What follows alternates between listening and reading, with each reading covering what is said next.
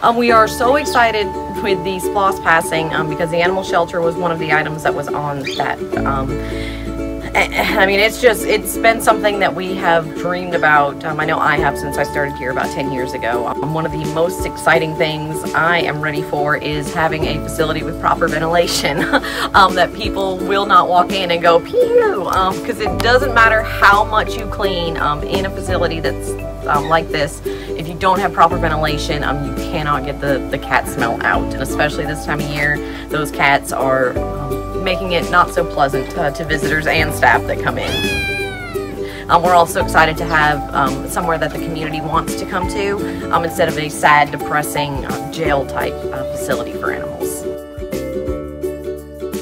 Uh, well, we had a great volunteer in front of the shelter, Lori Attaway, who decided that she was going to um, help us get a new shelter sign.